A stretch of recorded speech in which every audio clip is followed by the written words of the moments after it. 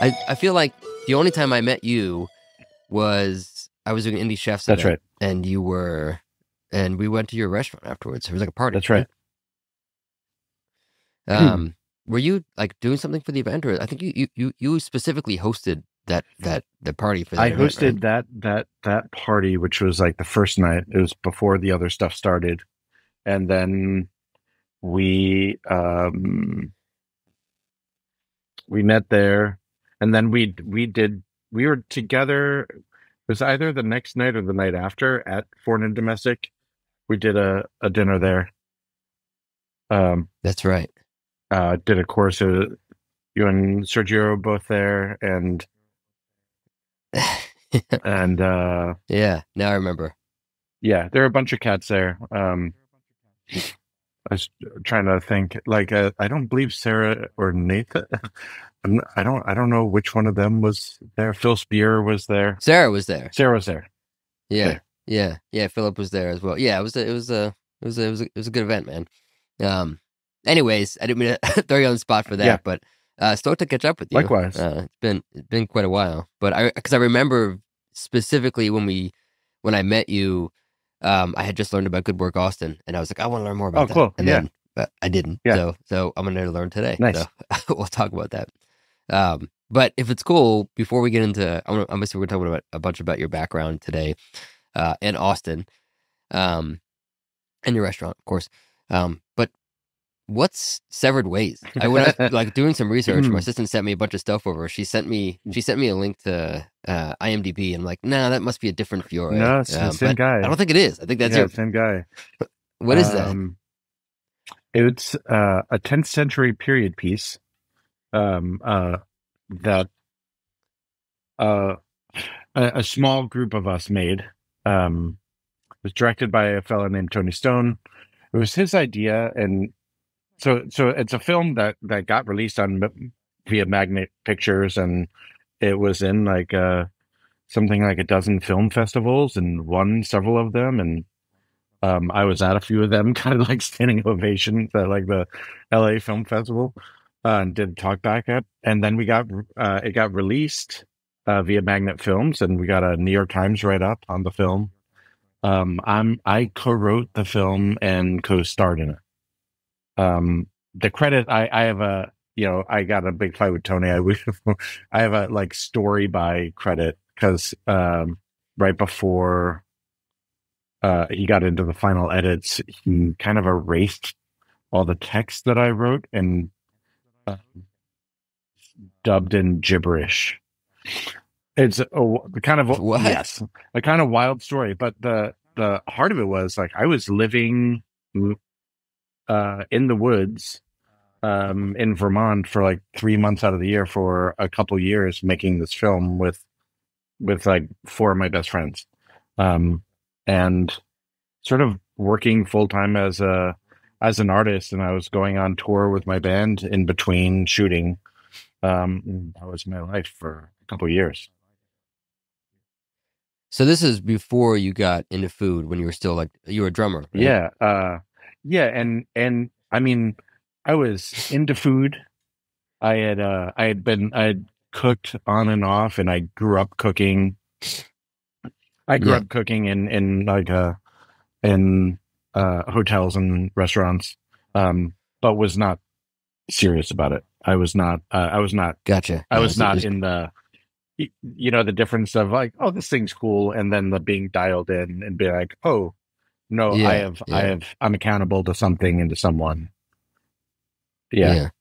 So what? Why did you want to make this movie, and what, wh- like, what was the impetus for for for for making a movie? Because you you made one, and then you, and then you stopped and got you know got into food at some point. yeah. or more into food. I mean, I was ma- at the time, I was making, uh, all kinds of weird art projects. I was doing, um, I was working on like a avant-garde dance piece, um, with my with my buddy with my buddy Claire, who I was in a band with, and um, I I I had I had my bands, and then I had like my side projects. I was committed to making just to just expressing all kinds of art. Tony was a fan of uh, one of my bands and asked me to make this movie with him, asked me to write it with him. Uh, and then we thought that Andrew WK was going to be starring in it. Um, and then he pulled out last minute. Um, and so I ended up, um, acting in it. Uh, I was going, I was, yeah. I, so I end up, Tony and I end up being the lead actors and there's a bunch of real actors in the film as well. Uh, How did that feel acting in a, in a I movie? loved it.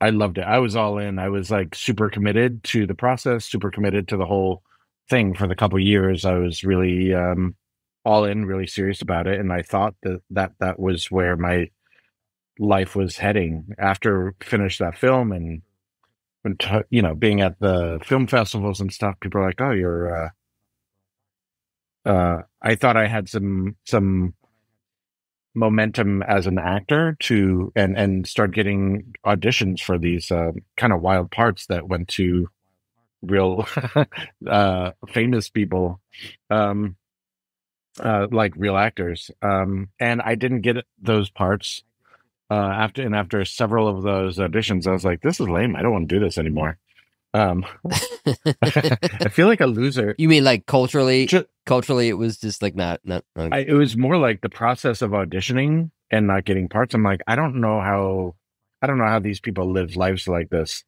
Where just like I'm asking for the right to work and just keep saying no, and then it reminded me of being like 19 and being in the city. And I was actually then I was trying to get jobs in real kitchens and getting told no. Then, um, Mhm. and that you know, so when was when was that? So th- that, you say the city, so New York, New York yeah, I City. moved. I moved to the city in '98, uh, 1998. Uh huh. Um, Yep. And uh, yeah, had a sort of a circuitous path to uh, to anything. I worked in. I ended up hustling my way into uh,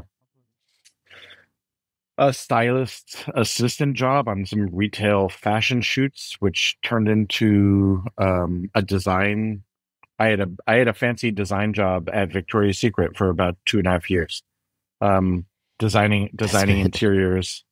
Um, although, like, uh, personally, I was a mess and did not know I couldn't like balance a checkbook, um, and you know, there's just so much volatility. I was there was a stretch where I was like working at Victoria's Secret and had to look the part and kind of was softly lying about uh, my age and my education. Um, I was tw- I was 20 years old. Um, my HR thought I was 28 and graduated from like Oberlin. I think I told them because I you, did you did you randomly choose Oberlin as the place? I was like that sounds like a an art school they're not going to follow up with. Uh, but meanwhile, I was like That's a- homeless living in Washington Square Park. Um, oh my gosh. um, because I, you know, I got kicked out of my apartment, uh, um, after a fight with my roommate. Um, yeah, um, I had like, and had like no money, had like no prospects, but I had this job, but where I was getting paid like every six weeks as a contractor. So I was just like, well, I have to show up and continue continue to work, and I have to look look the park. Uh, so I would just sleep at the park uh, and pack my leather pants and my silk shirt in a in a bag and wake up and like uh like shower in the sink at Washington Square Park and the guys that played chess over there I knew a little bit and was friendly with so they looked after me at night um That's crazy. How long did you do that? uh I did that twice for like 3 weeks at a time? Wow. yeah Wow. So so how long was it before what was the period in which you didn't have a place to stay?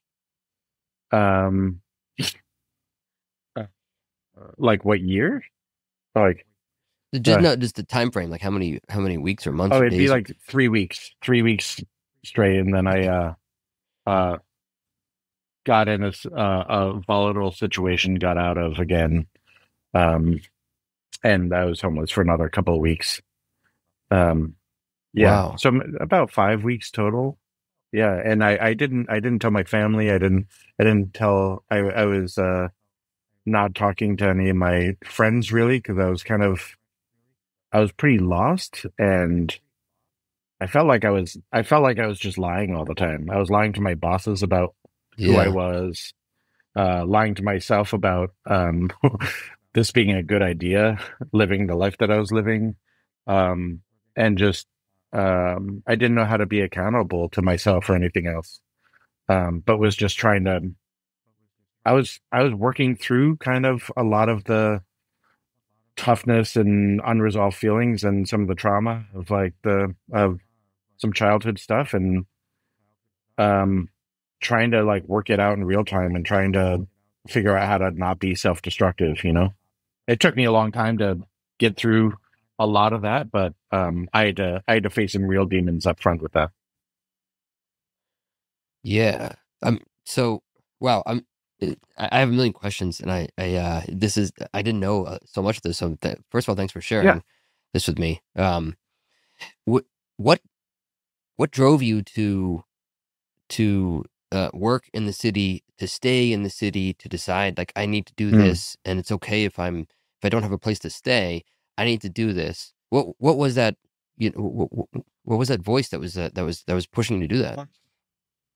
I had I was worried that where where I came from, like my family unit was decaying, had decayed. There was like a lot of uh, a lot of bad things had happened within my family and were continuing to happen. The prospects within our family unit was not great at the time. It was not positive. And I wanted to, that was in upstate New York, about three hours north This was in Troy, Troy. York. Yeah. Yeah, yeah. and um, I was really motivated leaving as a teenager to get out and um, make something of myself. And I was determined that I was going to find myself in the city. I was going to find my people. I was going to find my voice that I had felt kind of miscast growing up in the small town uh, where I just got bullied pretty mercilessly through um, a lot of through all of middle school and uh, um, yeah, I was I was really determined to to make it work. I had decided years before that I was gonna I was gonna live in New York City and I was gonna be successful. And so I didn't know what any of that meant and I had to I had and I thought I had to grit it out. Um, I didn't have anybody to Mhm. lean on or anybody to you know, if anybody I I did have um in the city the one person I leaned on that was uh consistently showed up for me was uh uh chef uh Leanne Wong. Um Oh yeah. Wow. What? What? Why Leanne? Leanne and I grew up together.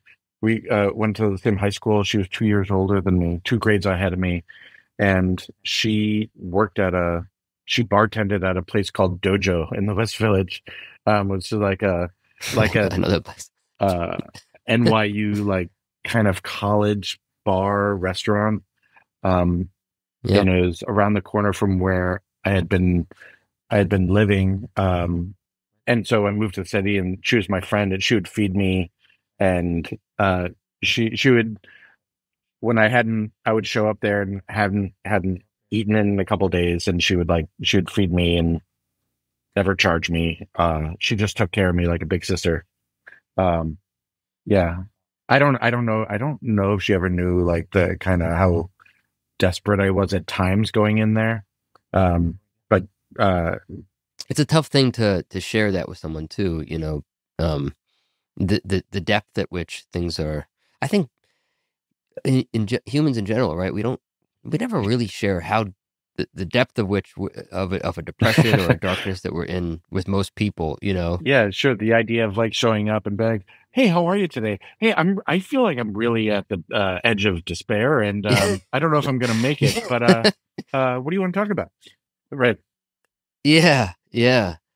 Um, wow. So, so, so you moved. You, so you went to New York in '98, and then Hmm. how how long, um, until you? So you so you, you were obviously in, in in in this in this design career, and then you started. Um, was was music was was music in the film before? It sounds like that was after that, but was there some before and after that? And then what led you to kind of move from music to Mhm. more into food and things like that? Yeah, I I started before I I was uh I I was playing drums uh for different bands as soon as I moved to the city. Um and trying to uh I had I had dropped out of college in in 98. I I was at Hofstra University on a tennis scholarship. Um um I, I played good tennis, um, but I tore my shoulder apart uh, playing tennis, and um, long story short, I lost my my scholarship. Moved to Florida to try to rehab my shoulder and get another scholarship, and I just tore my shoulder again. Um, moved to the city, um, kind of on a lark uh, to follow through with the earlier promise that I had made to myself. Um, hmm it had been uh uh kind of until uh until 2001 uh there was a really significant change uh to the early january of 2001 i got a a contract uh with lvmh with veuve clicquot to uh work on the uh branding and um uh design of uh, uh, the display packaging for Le Grand Dame, the Veuve Clicquot Le Grand Dame bottle. If you remember that, that came out in 2001. Yeah. And I designed this uh, really beautiful display packaging that I bid. I um, I bid for and and uh, somehow got the contract. I was in way in over my head, and uh, the production of this display of this whole marketing program was uh, um, it was a, a half million dollar contract basically. Um, I was 21 and working on this by myself, where the the other person that would have won this contract with a was a very established, like well known Japanese architect with an office of 40 people, right? um, um, it was it was wild that I won it, and then uh, where the rubber met the road uh, was it was hard getting this thing that I designed produced really beautifully. It was a plexiglass, three plexiglass pieces that aligned and uh, and in slightly different colors that refracted a rainbow when natural light was shown on it. So in any display place that this was shining the bottle, as soon as natural light hit it, it was shining a rainbow back. Uh, it was a really cool effect um, that I and learned how to do reading, you know, reading design magazines in my office where I was trying to Mhm. decide why I had this, how I had this design job and how to justify it. Um, and uh, so I got the contract, and then uh, September 11th happens, and it was, you know, I, I that day we were supposed to be delivering 300 of these display pieces to the LVMH offices um, uh, in Connecticut, where they were where the president had flown over to look at these things that I had built, um, and then the packages didn't show up. Um, the you know that that was obviously a terrible terrible day for everyone that was in New York City and then and beyond. So the uh, September 11th, 2001, Twin Towers happened. I was in the middle of kind of this, just realizing early, early that that morning that um, this job, this contract that I had was about to fall apart um, because the the the company that was building this piece I designed um, kind of shit the bed um, and and didn't tell me uh, and were lying about it. And then the Twin Towers happens, Wow. and then there's no communication with anybody for several days. We're Yeah. just in. Um, I'm I lived on on Bleecker Street, um, uh, Where on Bleecker? on Bleecker and MacDougal. oh, I lived on Bleecker and Thompson then. we were neighbors almost. Wow. Um, and so over the next next two weeks, I had stuck around the city trying to rescue this job trying to, but I was also like, I was, I was traumatized, man. That was, that was a, that was a tough time. And, and I didn't Yeah. realize how damaging psychologically the effects of everything happened was. Um, you know, I was on my, stood on, on, on, on the, the, the, the roof, the, on the roof of, uh, my building and saw the second tower fall. Um, and my cousin was in the building. He he got out, um, spent the morning trying to find him, spent the next day and a half trying to find him. Um, yeah, it was wildly traumatizing. My girlfriend, um, that that that was like a final fracture in our relationship. We lived together. I was in the middle of losing my mind over this job. I didn't have room to take care of her in that time. She quickly, and she was like, I don't want to be in the States anymore. She's from Brazil. She left Brazil. Um, I got a bleeding ulcer and was just kind of throwing up blood and was in a pretty sickly state. And, uh, I thought I was gonna. I I I had called the Westchester Mental Institute and and was about to check myself in, and uh, she had been calling from Brazil saying, "Why don't you just come down here and let my family take care of you instead?" Um, and kind of flipped a coin and said it uh, landed on tails. Tails was Brazil, so I flew to Brazil that night and Well, and was there for months.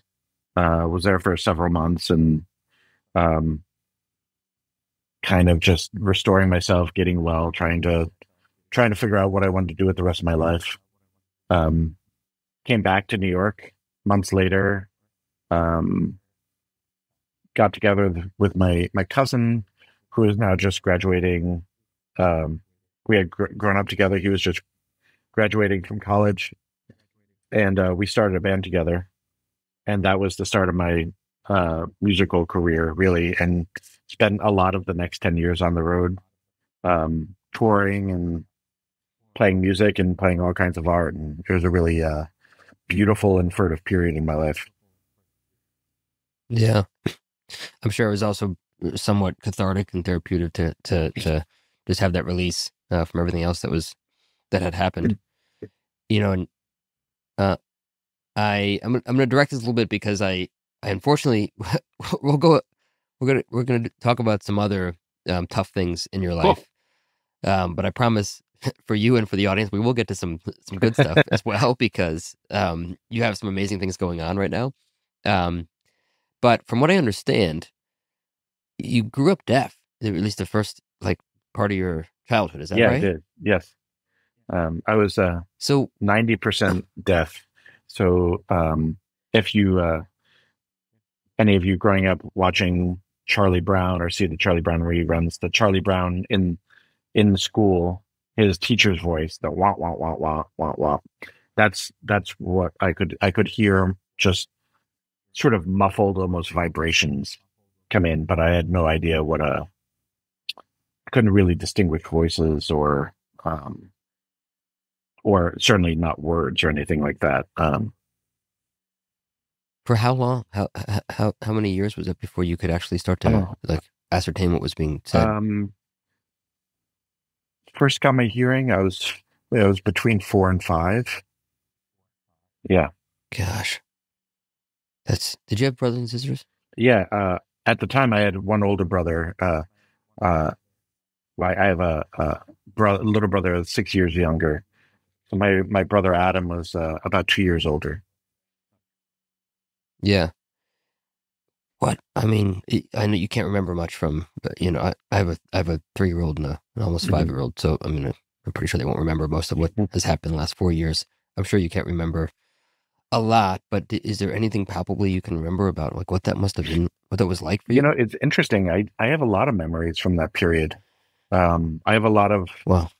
um i have a lot of kind of sense memories like uh really strong tactile sensations really strong um like taste and smell memories um um Any you can think of that that just come to mind? oh yeah like the I I would i kind of grew up like every sunday i would go to my grandmother's house and uh we my grandparents lived basically on the bottom of a hill that we lived near the top of the hill. Um, and I would I would tug at my grand my my mom and dad to drive me down to Grandma and Poppy's house on Sunday morning because Grandma was cooking the meatballs, and I wanted to eat the first meatballs that came out of the pan before they went into the into the sauce. Right, so I'd fry them in olive oil and then go into the sauce, and I was like, "That is the magical place."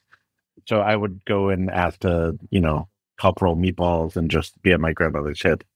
Um, so it's like the it was like it's like the smell of the meatballs, like the smell of like it's almost like the smell of parsley frying in olive oil, and like the parsley and the pecorino. Um, I can I know what that smell and that taste is like. Um, I can I can blink and it's hundred percent there. Yeah, Yeah, I have to imagine that has stuck with you for um for life as something that you, your your your sensory your ability to sort of you know smell and taste is is still um you, you know amplified. I, I think so. I, I would like to think so. Uh, it would be nice to think to say so as a chef, you know. Um, but Yeah. it's also like that that feeling there that even like the the the memory of like the way the light came in my grandmother's front window. Um, I remember the print on my my grandmother's house dress and can remember like the smell of the from the fabric softener they used, you know. Um, and those are all memories of like safety, you know. Um, I was Mhm. like, Mhm. life was kind of chaos for us. My dad, uh, around that time, went to prison. Uh, was in prison for uh, like two and a half years. Um, Wow. and there was a big dissolution of the family unit, and so like I have these sense memories that like signify safety to me, and then later in life, later after after playing music, when I really started cooking, I started to realize that recreating some of these um, by cooking, I was able to recreate some of these sense memories that harken back to those feelings of safety, and that I could access different memories, different ways that I didn't know how to before. And it was that emotional connection that really drew me into the kitchen. Yeah. Yeah. So I've been to Troy be- before. It's a pretty beautiful town. Very quintessential kind of Hudson River. You know. Yeah, says, says you, Um, pal. I mean, I, well, you know, if you're driving, if you're if you're driving through, I don't know about the the, Yeah. the interior of it, but what was it like growing up Yeah. in um in a in, in Hudson River town with an Italian grandmother? Uh, obviously, you have these uh, these memories, but I, I say that sort of beautifulness because I, I live in Hudson River town as well. But Mhm. the, you know, we see we see that, but I'm sure that there's a there's another side to um to growing up in a, in a town like that. That's that's you know pretty far from the city. Yep. That's um you know what what was that like growing up for you? Um, I mean, it is it is a stunning town. It is uh the you know early industrialism um, had a really beautiful place and impact in Troy, and the early architecture of the city, and and like the vast greenness of the place. It's like so lush and so beautiful. And I grew up in this really beautiful old Victorian house on like on the way out of Troy and on, on Route Two. Um, and I had such a strong connection to nature and into that and the town altogether. I loved the way that town part of it, the way it uh felt. Uh, I the way I knew I know every step of that you know, uh I would I would walk everywhere as a kid and I I knew I felt like I knew every inch of that town, right? And every inch of the woods that I would walk through. Um socially it was really hard growing up as a deaf kid. Um and then getting by hearing later meant I had a speech impediment for a long time. I had a really um, strong lisp, and uh, um, and I had a really hard time connecting uh, socially because of it, and I was kind of a target. Part of the effects of that post-industrialism town is, um, it's kind of uh, growing up there is a mean, hard place. Um, people, it was not an atmosphere of openness and welcomeness and acceptance. Uh, it was more an atmosphere of uh, judgment and oppression. um, my experience of it was. Um, and so kids were, you know, kids were mean to each other because their parents were mean to each other. Um, it, uh, and uh, I think it's I think it's turned towards being a nice place again. Um, but in the fifteen or plus years that I was there, I, I would think might have been uh, amongst its worst time in the last couple of hundred years of, or however long it's been a city. Um, it was it was a mean place to grow up. Um, I have a lot of beautiful memories as well. Um, but uh, yeah, kids were way meaner to me and to each other than I wish they they would have been. And uh, I was really fighting to get out from an early age. From like 12, 13, I was just itching for a way out, which I was motivated me to. Uh, I excelled in music. Um, uh, oddly, as a person that was deaf and then got their hearing, I was like I had a sort of some preternatural instincts as a drummer, but um, for some reason I latched onto tennis as the thing that was gonna be the the way out for me. Um, despite nobody in my family playing tennis or having any real connection to it, I latched onto it and committed myself to it, and uh, it kind of it kind of did the thing I asked it to do.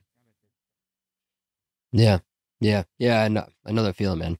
Um, well, look, I know, I know you have at least one daughter Mm. because your restaurant is named after after her, um, Lucinda. Uh, and so I'm curious. I, I I have to imagine you have a perspective on this, on the the benefit of adversity, because obviously so so much of that sucks, but you know, grow. I, how has what what is the good that came from that? Because you know, I, Mm. you know, you talk about you know the the how difficult it was growing up. I'm, you know, a lot of people have tough childhoods. Yours seems incredibly tough. Um, but I, you know, this is such a, a, a tough subject because I I do believe and now, and now I have two kids. Um, that resilience is this thing that like you have to try and instill. And and we have, we also have cooks. We have team members. You want to try and instill this resilience in folks, and you can't have that without some suffering. Um, what's your perspective on that? Given how much suffering you've had, what do you think that that um, how important is that to building resilience? and then how do you actually instill that in your in your in your kids or your team, like respectfully, safely, if you if you feel like that's important? Yeah. Uh, I mean, from uh, I guess a macro or like getting into like a kind of more religious sense about it, like from thinking from like a Buddhist perspective. I'm not a Buddhist, but like I, I love the uh the, some of the messaging and um suffering brings you closer to God, right? Um suffering illuminates the uh uh struggles of um the the the deeper struggles of of uh, uh, of mankind connects you to like a to a, a higher power in some way. So, um, I I think uh and another way to say that is like it brings you great empathy. Um, getting through struggles, like getting brings you to like appreciating um other humans like in in in mass like i i appreciate humanity. I i i feel like i have a soft spot for humanity. I want i want all humans to thrive not just the ones that are closest to me. Um um and i i feel that because the the suffering i've experienced kind of opened the door to to to just want everyone be able to experience peace. And my path to finding peace in myself has been like a real journey. Um, so for my kids, um, yeah, my daughter Lucy is 14. My, my son Francis is two. Um, Lucy has not had the same struggles. Um, if you were to look on paper, like uh, it, it it would seem like she's got like a pretty delightful life, and her experience thus far is her parents are in a really stable, happy marriage, and um, she's been she's not had anything impede on her own success in her life uh, through injury or illness or you know nothing nothing seem, no, nothing bad has happened. And so do i worry about her sense of resilience? Yes i do and so um and none that and and that said there's a side to it that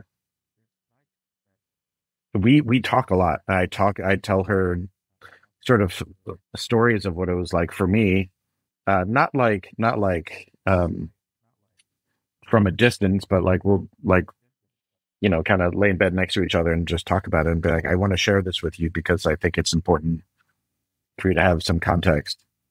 I think she she's one of the most empathetic people that I've ever met. Um, and she's had small, uh, you know, rejections from different trying to make this team, trying to do this, trying to she's been trying to do things that maybe were she was not totally prepared to make the team or make the cut just yet. Uh, she had not mm-hmm. Put in the same time yet some of the other kids had, and I see her attitude about it, and I see it of like so much wiser than I ever was about it. I see it like she's like, Dad, you know, it's cool that I tried, right? Like I really just wanted to, like she just tried out for the tennis team from middle school. She had decided six weeks before. And I was like, gosh, it's, you know, that's going to be tough. She's like, well, let's just give it a try.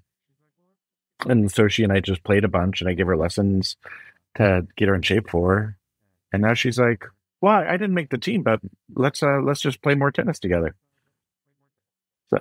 Well, I mean, that's, that's a great attitude. It's a, it's, you know, I think that's, that's, uh, it's a, you know, it's a, it's a blessing. And, but... and so the thing that you and I both, and part of the resilience as it pertains to like discipline and a certain amount of grit that you have to put in to succeed in a life in kitchens. Um it's a very uh it's a very distinct thing right that we share and that those the when we meet other chefs that um we know that have had similar that they've been they've oh you were in this kitchen. The we there's a respect among us not because like uh it's a weird fraternity it's because i know how hard you had to work in order to get to where, where you are. I know how much how much determination how much grit it must have taken you to be in that place.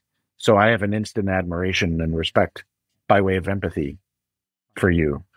Um that said i i, I wonder like the way I, I i see that the resilience mechanism in my daughter as uh, she is she has confidence she has real confidence um, by way of things bad things not happening to her i wonder about is is it a false paradigm the resilience paradigm you know yeah. what i mean is it because i i've spent the last 30 years buoying myself by like no i'm a tough guy because i can i can yeah. i can get over being a disability or being deaf or my dad being in prison or or that my friends dying or you know i can i can get through that by way of resilience um but would i just be experience more joy more easily if those things didn't happen um i don't i don't know yeah it's i mean look i don't think you can experience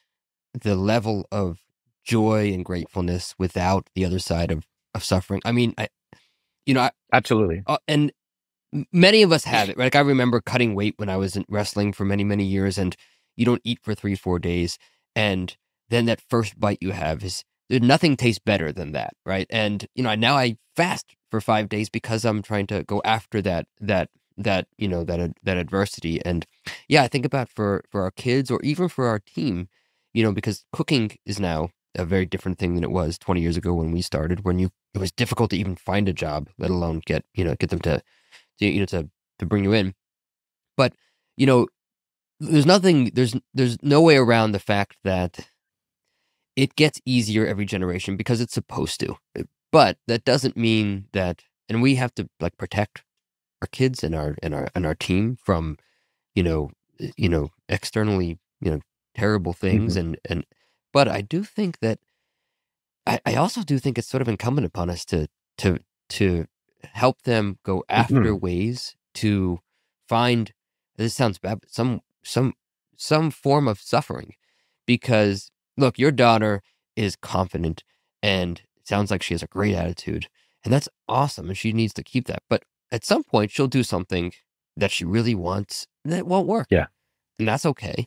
But I think if you never, if you never um, experience that, or you never experience like something, something that really you know lets you know, like, hey, not everything in this world is going to work out for you. You can have this expectation that it's supposed to, Yep. and then when it doesn't, you you you feel you know you feel slighted. You know, it's funny that the CEO of this company called Nvidia had this big. Everybody's talking about this this this video. He he was talking to students at Stanford, and basically what he said was, high expectations is the easiest way to be unhappy. Yep. Um, this coming from one of the you know like the the largest companies in the world, and yeah, it's it's so interesting to you know I'm hearing you talk about your daughter and and of course you want to protect her, but at at, at what part of our job for our kids or for our team is to also find ways for them to see, hey, guess what?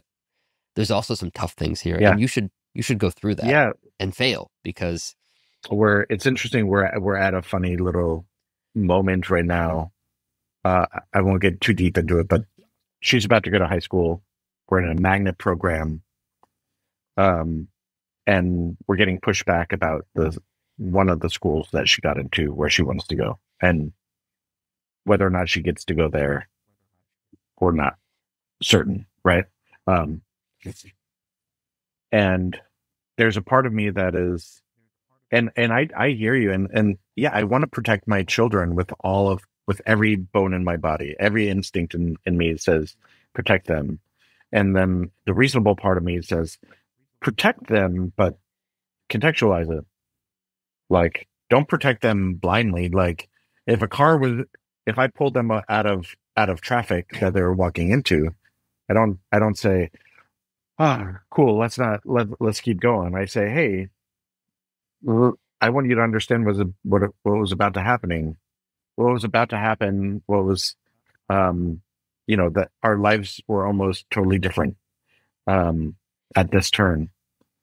I I've I've spent a lot of time talking to Lucy about about uh, yeah, the trying to contextualize like what her life is like versus what her mom and I's uh childhoods and lives were like but I, I I want I want for her I want to I want to kind of just like um lay it in the simplest most bare way for her. Like I want to I I want to I want to make sure that she has opportunity um and that she has the opportunity and that you know I want to protect her from monsters you know? But I, I also I also Yeah. want her to know that monsters are there, and there's a point at which I'm not going to be able to protect her from the monsters. You know, uh, what whatever they may be. yeah. Yeah, yeah, and and and you know, independent of protection, right? And I'm gonna try Yeah. to. I want to sort of steer this a little bit into into your restaurant a bit because I I know I, I have to imagine this also impacts how you think about you know your team. You know, we we um the whole the whole like whenever you hear this th- this message that we tend to say sometimes when we're older of like in my day we worked 15 hour days and it was six days a week and doubles and we didn't have this and we didn't have that and da, da, da. you know that doesn't work and it does and no one really cares and they hear it and they're like yeah whatever. And that may even be the the, the case and that's you know, that's fine you know they they they have it you know they're supposed to have it easier. Each generation is supposed to have it easier. I mean before us i'm sure it was even even harder. Sure. but the beauty in it is that like you at least i believe that it just means that the bar keeps getting raised of the more things that they can do and it's our job um to force them into new situations that are harder so that they can um they fail right Mhm. to to see that you know maybe they you know and and, and you know what for the interest of of like the um the, the, the topics here, I'm gonna kind of migrate us over to to L'Oca d'Oro and your team, and then just generally kind of like restaurant Mhm. teams and cooks and and things like that. You know, um, they don't work the same hours as us. They don't. Um, you know, you don't have the shift pay and the six days with doubles, and they don't have people throwing things at them, and th- th- those things don't happen anymore. That's awesome, actually. You know, that's not a that's not a bad For sure. thing. Um, but you know that there was a part of that that built this camaraderie with us, and it built uh, you know this um you you know uh, uh, sort of going to war with your with your team, Right. and there's also um this this premise of you know you have to spend way more years mastering something than back then than you than you do today, and so all of that is true. But what do you do now, right? So they do have more opportunity. They do have better working conditions. So what's the new thing that we can sort of impress upon th- these uh, you know these younger folks to help them like raise the bar even more? I I don't know what it is, but I'm curious if you think about that. You know, you have your daughter and your and your and your kids, but like you also have a team of cooks. Mhm. I remember this one. Peter used to was a young cook, worked for me, and now and then he went and worked for you. I think he's on his own. But like, you have a lot of young cooks going through your kitchen, right? Like, what? How do you think about that? Um, mainly, I, th- I I I agree with the the paradigm you presented is one I, I think about every day, and um, I don't, but I don't I don't feel in in some ways I feel I feel sorry or badly for them that um they don't have context of um the grit that it once took to be in a kitchen and how hard you or I might have uh, needed to work or hustle to get to just get an opportunity. Um, and that they can walk into, you know, one of the best restaurants in their town and be like, you know, um, can I have a job? And we're like, of course you can have a job. Come on in. Come in. on in. Um, um, the very, but very distinctly, like the way I think about it is, oh, you have more, you have more intellectual space because you are not being the part of you having to earn this in that way is unfettered. You don't have to earn it the same way. You don't have to grit it out. So that part of your brain is more accessible. So um, the thing that I can instill is that in my kitchens, you need to be more empathetic to su- succeed. The the the the better listener you are, the more progress you're going to get. The um the the more empathy you are very clearly showing to all the cooks around you, to the rest of the team around you, um, that is, your success is tied to that, right? Is and all the technical markers are uh, of achievement as a cook are uh, go along with that. But I, I feel like if you're becoming a good cook, is becoming a good listener, right? It's like you have to be present for the process. If you're present for the process, less is going to go wrong. And so I don't think it's uh, that different, but I I've framed it very differently to to my staff, uh, to my teams in terms of what their markers of success are. Um, uh, because I think our generation didn't have room for that. Um, but I I realized that being more present is kind of the the thing that we're all of us have been after throughout throughout history right? Is trying to show up and be the be able to fully be present for the environment that you are be in that moment. Uh, and this generation has an opportunity to embody more of that more accessibly uh, and i think that's the thing that i'm trying to coach into them Yeah, yeah. It's it's it's tough. They, you know, it, there's no there's no way around it. It will always get a little. You know, those things will start to get you know easier and things get unlocked. There is, you know, there's a great book by Robert Cialdini called um, um, Principles of Persuasion, but it's basically about about that. One of them is the is the scarcity principle, and you know, there's a parable about um, fraternities and why you know fraternities have this hazing you know ritual and the importance of it, and the most important aspect of this, of course, you don't want people to be, you know, hurt or anything like that, is that because you have to go through this, um, through this experience, and because not everybody can get in, you, you, Mhm. you, um, and you have this adversity, you appreciate it so much more. Whereas if you just got in, uh, and they actually did a test, you know, it, you just don't appreciate it as much. And I don't know if there's an impact of new, you know, I, there's a lot of young cooks that love what they do and, are- and are really talented. Uh, so I don't know if there's any if there's an impact, but historically speaking, and based on science, it seems like there probably is some sort of impact of because there's less um, of a um, of a roadblock to actually get in. I mean, you you couldn't even stage at Le Bernardin in 2000, you know, No way. uh, let alone get a Yeah. job. Now I'm sure you're just walking in and get it. Um, there has to have some sort of impact on on on the the the the the appreciation of of the industry when you when you can just kind of get any job you want. Yeah, I think so. I mean, um, and I think it's like the it's like the the the, the parable of the the gauntlet, like as you present, I think is a real one. And how do we create that in? Um, I just try to I just try to create a different gauntlet, right? Like, um, it's like yes, I you're you're all like, um, the atmosphere for hiring is a different one.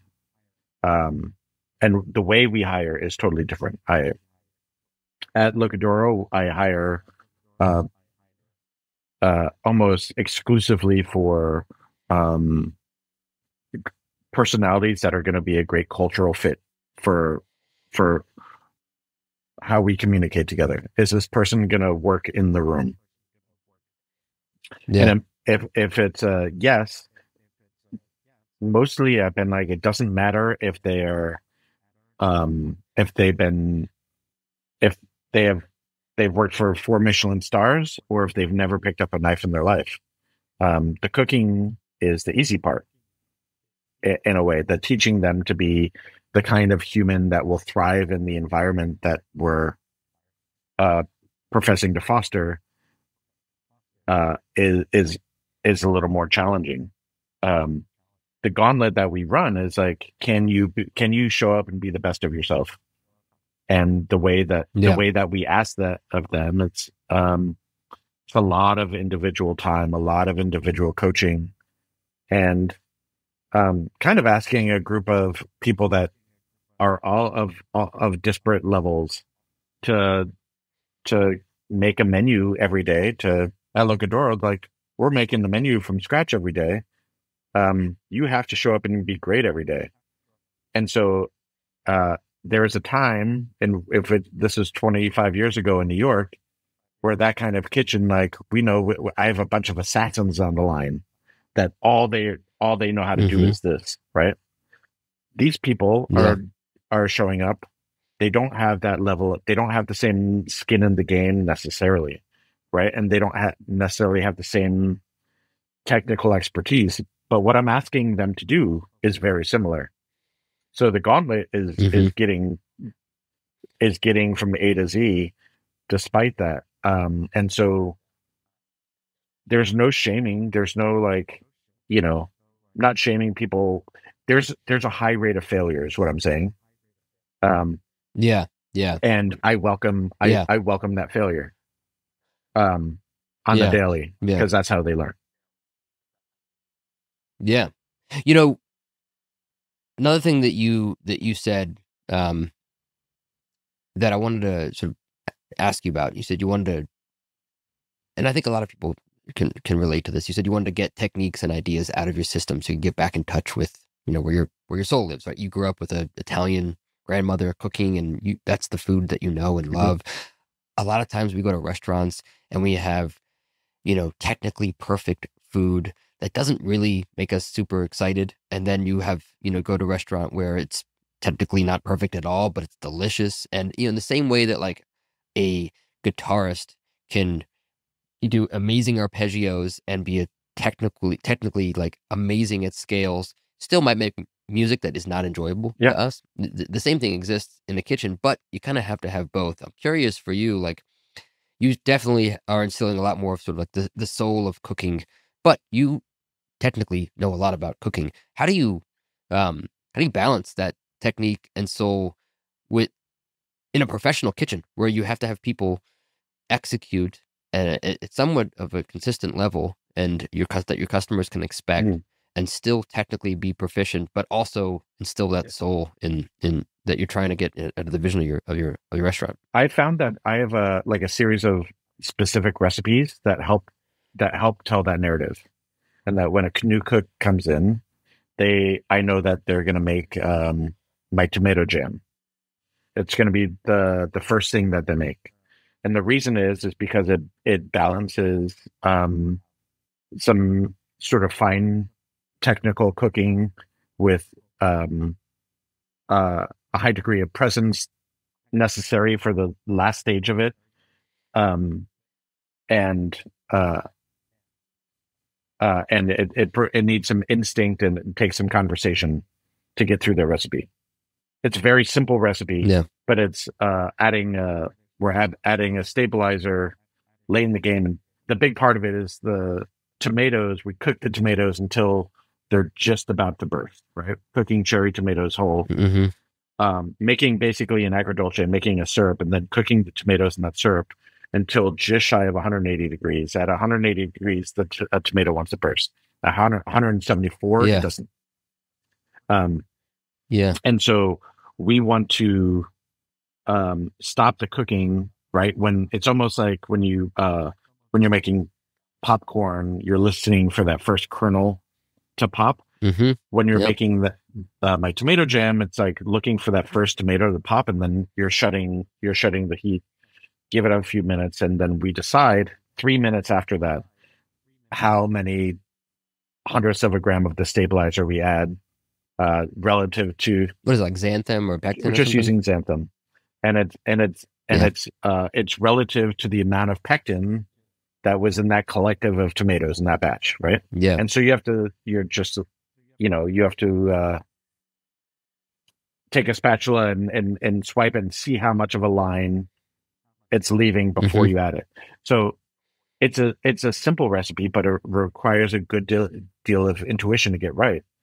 And uh, I teach it first because that's it's a good example of how I want to shape their cooking journeys with us is where I'm going to teach you technique. I'm going to teach you um, different techniques that may be familiar, may not be, but um, some of these things are are are tricky to learn, and it and the hardest part is just paying attention. Um, yeah, and yeah, and that's the, uh, you know some some of the best some of the best recipes require that you know like the Brix level will change on something you know throughout the year and and and the tannin level and and uh, yeah, no matter how how prescriptive you are, some of that is eh, that, that's what makes you know a, a, a great cook is someone that can that can understand that. Yeah, it's funny that it's uh, you know just randomly by the way that that's how I make all of my marmalades like my strawberry or any berry basically. Like I can't stand when people cook down berries because they all taste exactly the same if you cook them down to sec. So I, I do the same exact thing with like strawberries like peak seasons. Like if you get perfect TriStar strawberries you know the worst thing you can do is just cook them down to yeah. to sec because then they just taste like you know like every other strawberry. Just cook them till they barely um, you know, just barely warm through. Mm-hmm. And then, yeah, you do have to have some sort of stabilizer, whether it's pectin or xanthan or something to. Right, but it's a. I mean, I made this. I made that tomato jam recipe like from from a, a marmalade recipe, right? Like I adapted it from that because cool. it is that same idea of what is the way to the the goal is, and this is uh and uh, another reason I use that recipe first at L'Oca d'Oro's who are we as an Italian restaurant? What is what what is the story that we're trying to tell? Where a lot of the technique is not Italian and uh, uh, and ascribing technique to provenance is kind of a a, uh, a zero sum game, mm-hmm. anyways. Um, but it, it's it's what's wonderful about the principle of Italian cooking is um, uh, celebrating simple ingredients, right? And so all the technique that we use at L'Oca is based around that very simple principle of how do we shine the light on this thing. So in the tomato jam, it's like these mini San Marzano tomatoes that are grown in West Texas. Um, when they're great, they're really great. And how do we how do we how do we shine the brightest star on them? And what is the least interventive way to to like highlight them? Um, and that's Yeah. how I think about. That's what I love about cooking altogether. That's my. I mean, that's like my soul in the kitchen is is that that credo altogether. I I for years like I was like I'm gonna I'm gonna I'm gonna get this done so I can get a job at Alinea so I can learn these techniques because that's gonna lead me to my next uh that's going to open doors for me. But I, I i was thinking about it kind of backwards that the techniques were going to open doors for me. The techniques are a subjective set. It's like um it's a, a sub- subjective set of it's it's kind of like different colors of paint right? Or different Yeah, just a toolkit that you. right like uh there's an appropriate toolkit for everyone. Um Mhm. and I Elvin uh, Elvin Jones, the drummer, uh, uh, once uh, told me when I was a, a teenager, he's like, "What do you got all those? What you got all those drums for? You only need three of them, you know." Um, and often it, it's true. It's true with with everything, like the doing the doing working with the simplest toolkit and being thoughtful within that is a real place of confidence. Um, yeah, and and after learning a lot of different techniques and trying a lot of different things trying a, a lot of different restaurants and on for size and and and, and working there I, like i realized what culturally what's important to me and technically where i have a voice um yeah, yeah. You know, it's funny. I, I have this. Um, for me, like the the things that we make, you know, in in in the kitchen, I, I look at this sort of like hierarchy of why why we why we make them, right? So like, you first cook for yourself right? because you you love to do it, and then hopefully you cook for the. eh, I don't know if it's in, in in this order, but like cook for yourself, and then you cook for the ingredient, right? And then you cook for meaning like you you you appreciate the ingredient like this thing at the peak season or because you love blue crab and there's a way to you know enjoy that versus jonah crab versus snow crab and then you cook for the team meaning like you have to have some techniques involved so that they learn and they get you know inspired um, by more than just the- ingredients and then you cook of course for the customer right because you have to have an experience that the customers like want to go there versus somewhere else and wants to leave home for this thing and then some folks cook for the betterment of the industry, right? Like you're sort of innovating to a place where, hey, these are net new things that that that that um that that, that we should learn, and not many folks do that. That's and that's that that's the nomas and and and, th- and things like that. That's a very difficult thing. Um, but that that spectrum, I feel like it's okay to sort of you know over index on any one of Mhm. those. Um, but I'm with you, man, on the on the on the ingredient piece of like you know like I love it when someone tells me I I hate asparagus, and then I'm just gonna go to- totally ham on. Oh yeah, well, you know, you probably have like you know, and, and go and go after it. And I think that's one of the most beautiful things about cooking is when you just you know you you just focus on like let me highlight this thing. It's in perfect season. It's the perfect crispness. Like what texture should it be? What's like the least amount of things that I can add to it to make it delicious? Uh, yeah i feel like uh a lot of people tell me like um oh man i i i over the last you know uh, L'Oca d'Oro my first restaurant's been around for you know eight years now we just opened a a, a new place uh called bambino uh pizza a pizza joint we opened two weeks ago But- oh wow, what, kind of oven are you using? uh a pizza master nice. um what style of, of pizza, or, or is it multiple styles? It's a it's a one style and it's a hybrid. It's a crispy bottomed, uh, very wide, fluffy edge, wide cornicione. Um, so it's a hybrid of the kind of the way I'm thinking about it is like the the Tokyo manifestation of Neapolitan pizza that has gotten like really hyperbolic with the edge, um, where it's beautifully custardy, um, but there's a I love like a little bit of crackle crispness to the bottom of a piece of pizza. Mhm. Is- that is magic to me. So it was combining those worlds, which was uh, we spent the last two years working on trying to find a find a way into, and we're in a pretty good spot. Is there some bread?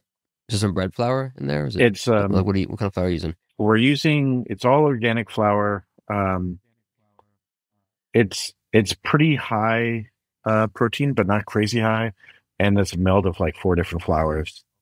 Um, Yeah.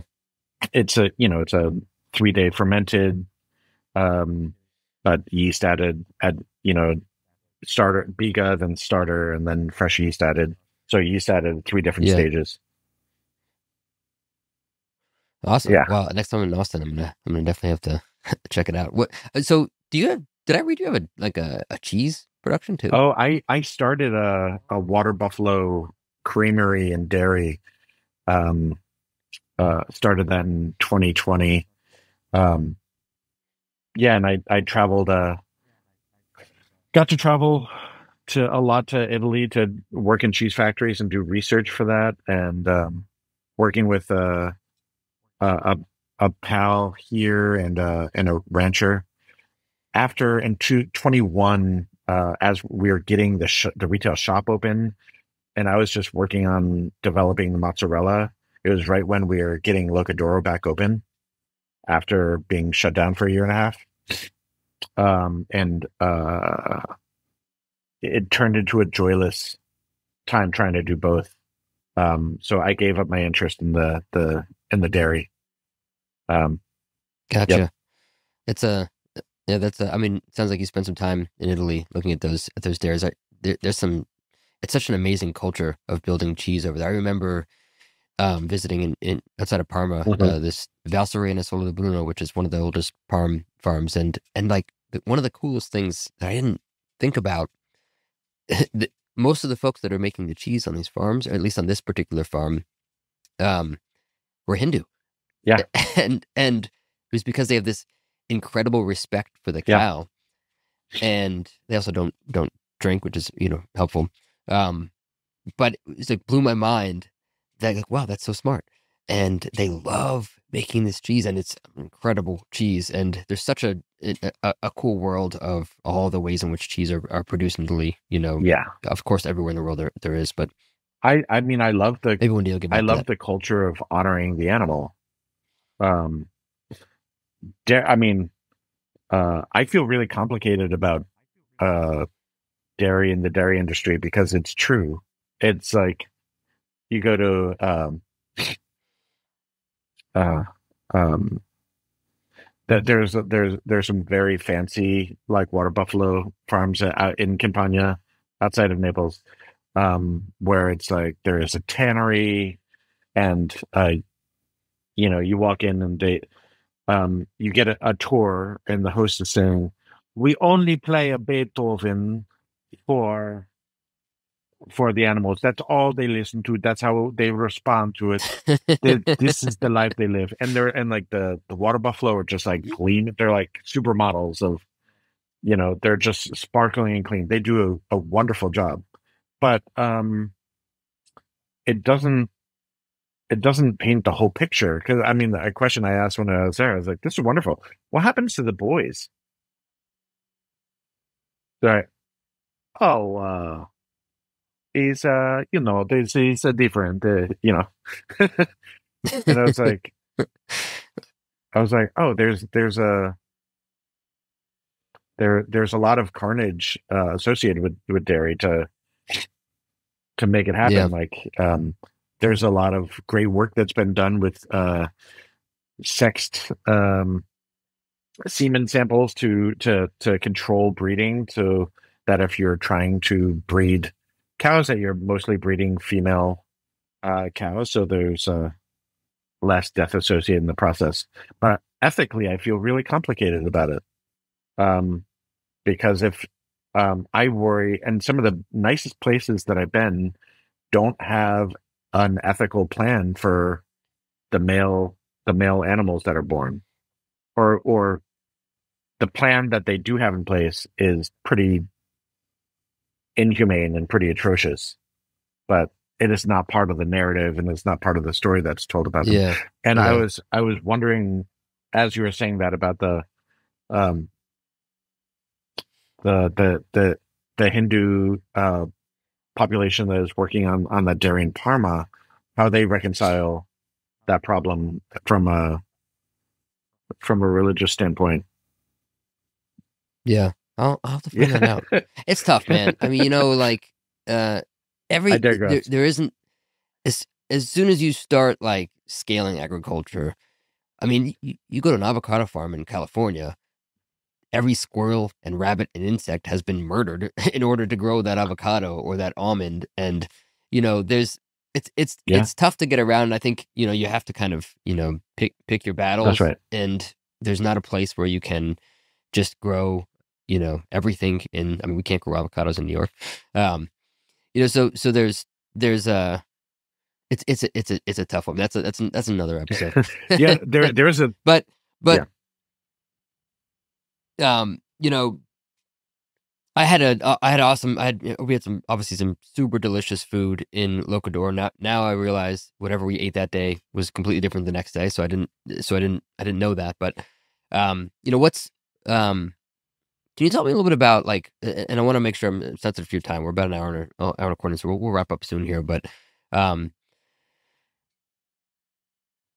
the austin scene has changed a bunch Yeah. right? So you you you, you opened Locadora like eight years ago. Um you just opened up a new spot. How has sort of this influx of you know all these folks the tech folks and and and, and enter- entertainment folks coming from from all over moving to the city um like how, how has the scene changed um over the last decade?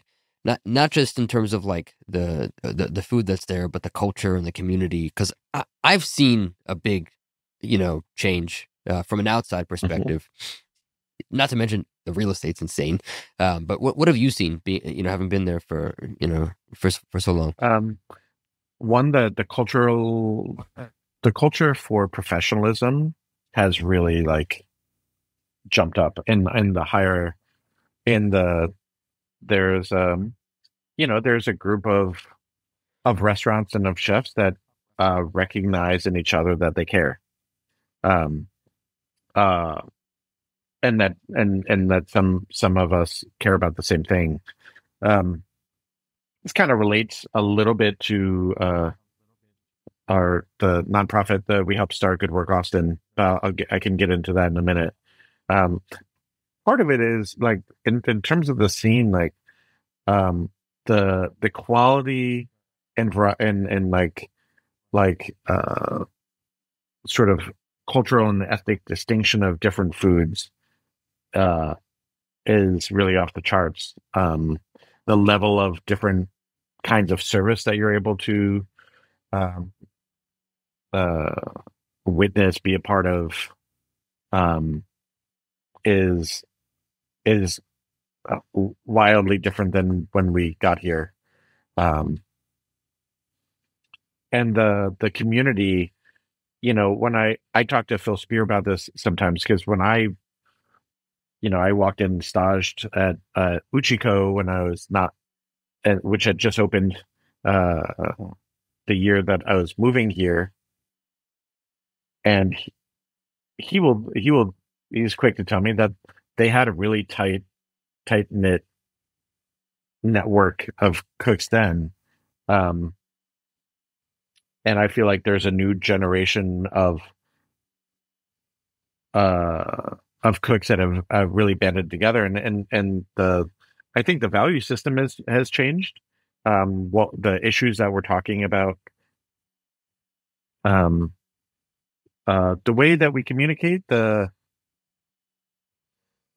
um you know I I spend a lot of time in conversation having coffee uh hanging out playing tennis with a lot of different a lot of my friends are are are chefs um and and and restaurant owners and the community around it is something i'm so wildly grateful for.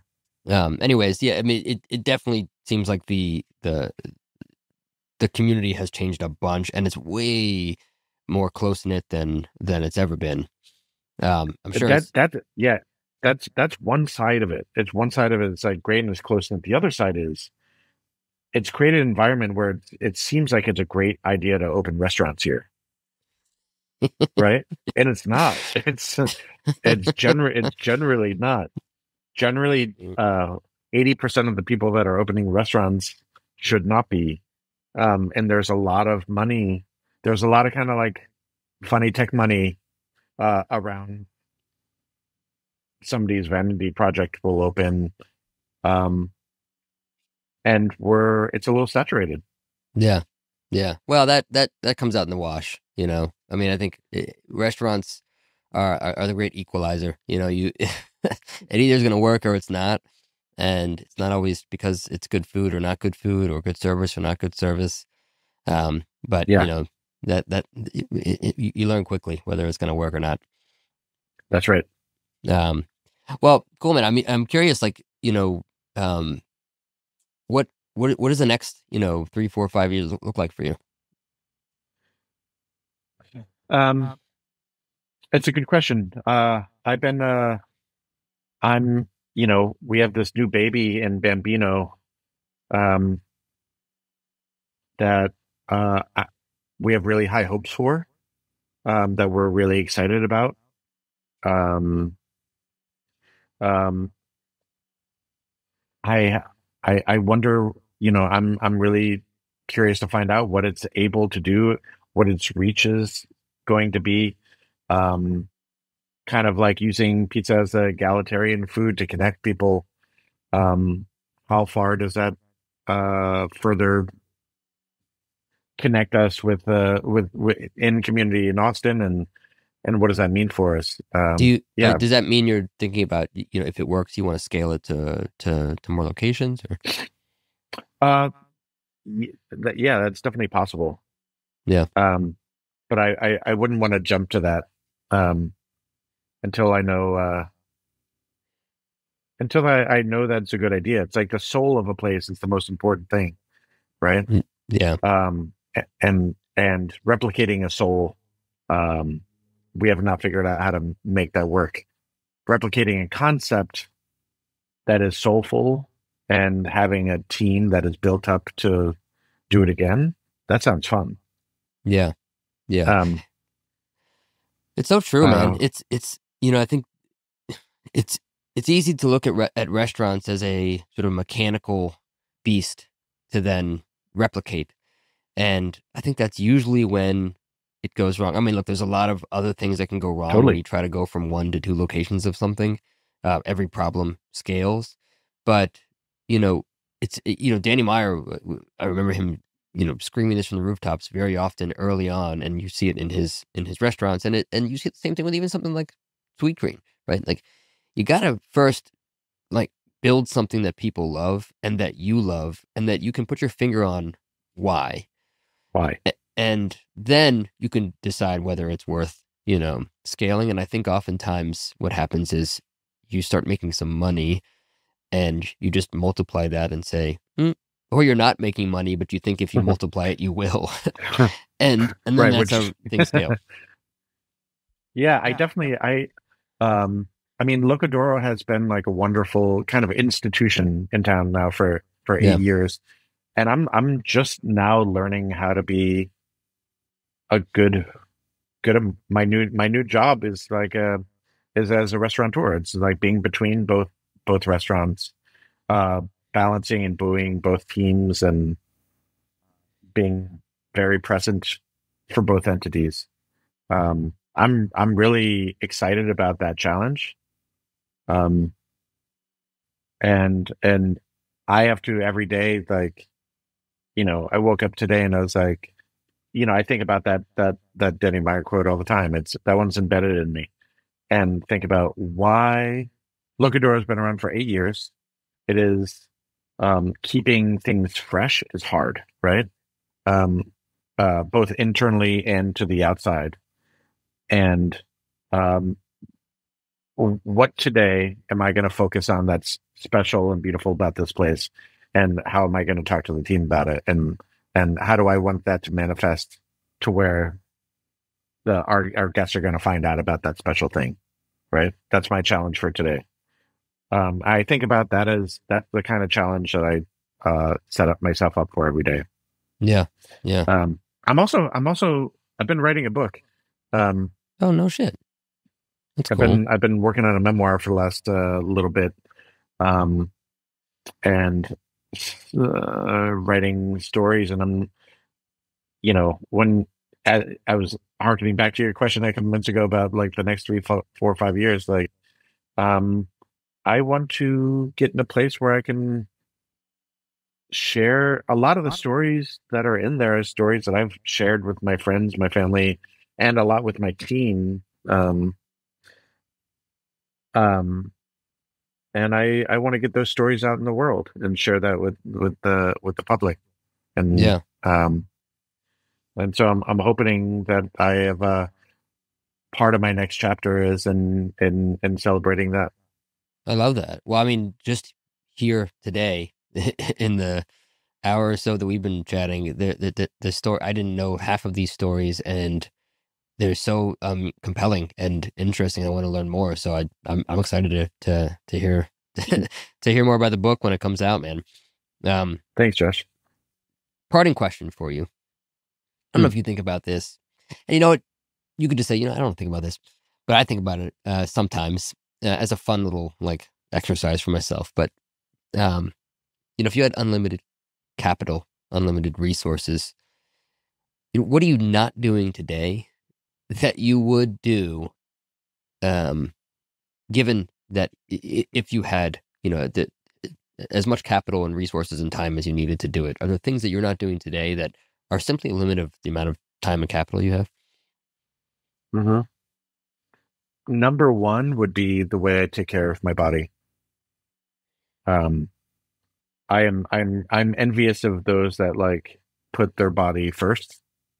Um, and that's a the natural order of things for them.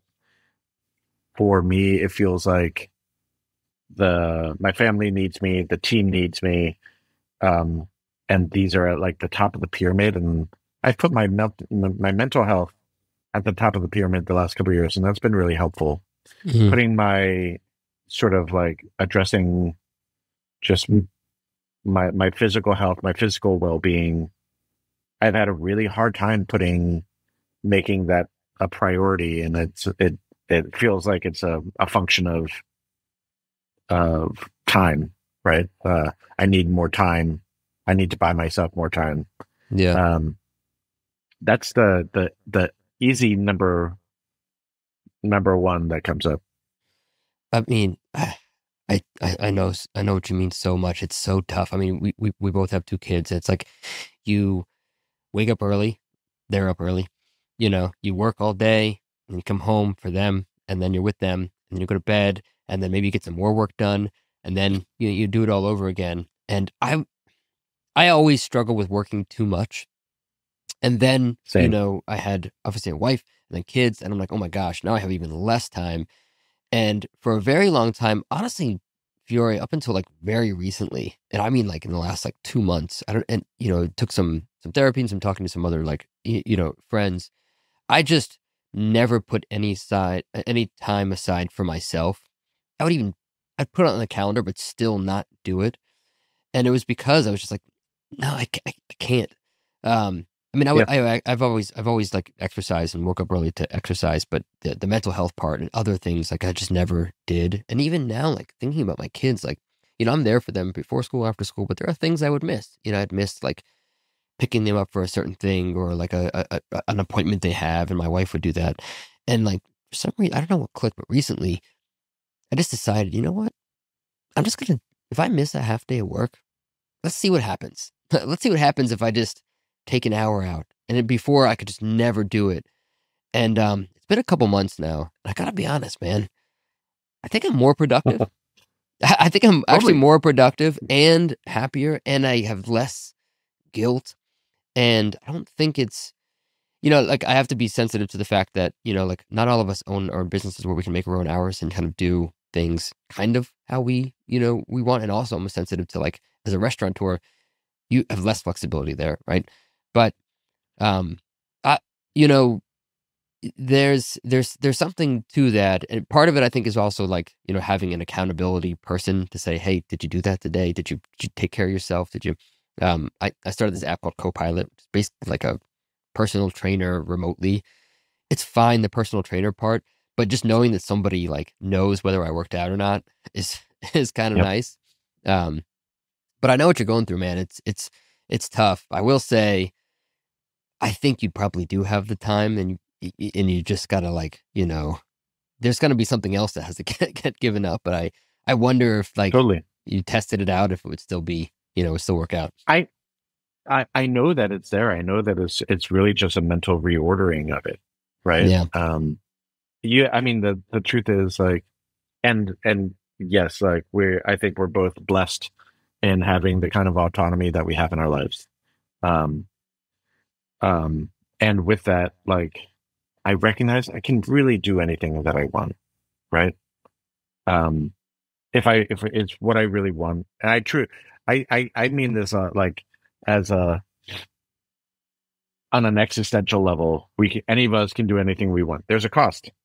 Yeah, it's it's it's not free. Um, there's a cost to trying. There's a cost to uh, achieving um, and there's some suffering in, involved in that. Um, but that I, I think maybe getting back to your first question or the first thing we talked about is uh, maybe the the greatest thing that suffering teaches you is that um, is that you know that you know what, how the math works, right? Um, you're like I I already know what it feels like to suffer uh, am I willing to suffer to try to find the to try to move, you know climb this next mountain? Yeah. And generally, the answer is yeah. Generally, the answer is like the what's on the other side of suffering is is joy for achievement and appreciation for like a, um, a greater, deeper appreciation for life. So let's go get it. Yeah. Um, yeah. It's, and I think, you know, the thing to that we all have to remember, you and I, especially, and anybody in this scenario, is it can very quickly um, sort of bleed into this notion that we should just be suffering, and when we're having fun, uh oh, wait a second, no, this isn't this isn't right. And I think that's the part, you know. And I'm, I mean, I don't, I'm, I'm 42, almost 43. Like we're we're probably close, close in close in age. We're like, wait a 2nd mm-hmm. we're gonna be 50 soon it's okay to have fun. It's okay, maybe you know, and and even on a Tuesday, you know, what why not? And yeah. you know, we we spend our whole lives as cooks or whatever else we're doing, like just working maniacally all the time, and life goes by. And I think actually, it's it actually feels like more of a risk, um, to do that than than not. But I'm I'm at least for myself, I'm trying more and more to like put that out there because, you know, I I think that maybe it will actually just mean things will continue no matter what, even if we're even if I'm actually having fun outside of work or something. Yeah, that like um yeah, remove uh kind of removing the ego from the equation of like are they going to be okay with him? Yeah. Yeah, they're going to be fine.